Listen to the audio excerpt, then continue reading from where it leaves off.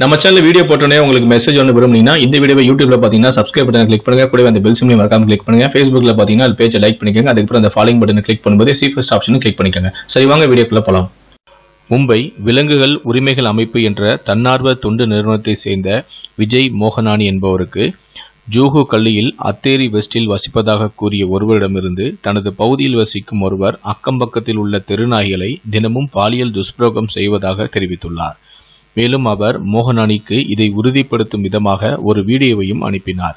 அதில் அகமது சாஹி என்ற ஒருவர் ஒரு நாயை பாலியல் பலாத்காரம் செய்வதை காண முடிந்தது. அந்த நபர் இந்த வீடியோவை கடந்த ஆண்டு டிசம்பரில் படம் பிடித்ததாகவும் கூறினார். அகமது ஷாஹி அருகிலுள்ள வெவ்வேறு நாய்களை பாலியல் வன்கொடுமை செய்து வருகிறார் என்றும் அந்த நபர் மோகனானியிடம் கூறினார். இந்த செயலை மீண்டும் செய்ய வேண்டாம் என்று ஹாஜியிடம் கூறியதாகவும் அவர் கூறினார். ஆனால் சாஜியோ தொடர்ந்து இந்த செயலில் ஈடுபட்டு வருவதை கண்டதால் தன்னார்வ தொண்டு நிறுவனத்திற்கு தகவலும் கொடுத்தார். பின்னர் இந்த வீடியோவுடன் மோகனானி காவல் நிலையத்தை அணுகி முறைப்படி புகாரும் அளித்தார். குற்றம் சாட்டப்பட்டவர் அந்த பகுதியில் காய்கறி வியாபாரம் செய்து வருகிறார் என்றும் அவர் தெளிவான மனநிலையுடன் உள்ளார் என்றும் விலங்கு ஆர்வலர் தெரிவித்துள்ளார். இதற்கிடையே விஷயம் வெளியானதை அடுத்து அஹ், சாஜியின் குடும்பத்தை சேர்ந்தவர்கள் வீடியோவை படம் பிடித்த நபரை அடித்து உதைத்து அவருடைய செல்போ செல்போனையும் உடைத்துள்ளனர். இவ்வாறு மோகனானியும் கூறினார். ஆனால் அதிர்ஷ்டவசமாக வீடியோ வேறு சில தானங்களில் இருந்ததால் தற்போது விஷயம் வெளியாகியுள்ளது.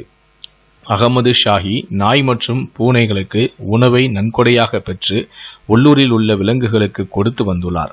பகலில் உணவளிப்பது போல தன்னை காட்டிக்கொண்ட அவர் இரவில் தான் உணவளிக்கும் நாய்களையே பாலியல் வன்கொடுமைக்கு உட்படுத்தி வந்துள்ளார். உணவளித்து வந்ததால் நாய்களும் அவருடன் நம்பிக்கை நம்பிக்கை மற்றும் விசுவாசத்தின் அடிப்படையில் திருப்பி தாக்குவதும் இல்லை. பாலியல் வன்கொடுமைக்கு ஆளான அந்த பகுதியில் உள்ள நாய்களை அடையாளம் கண்டு அவற்றிற்கு மருத்துவ உதவி அளிக்க நாங்கள் முயற்சிப்போம் என்றும் மோகனானி கூறினார்.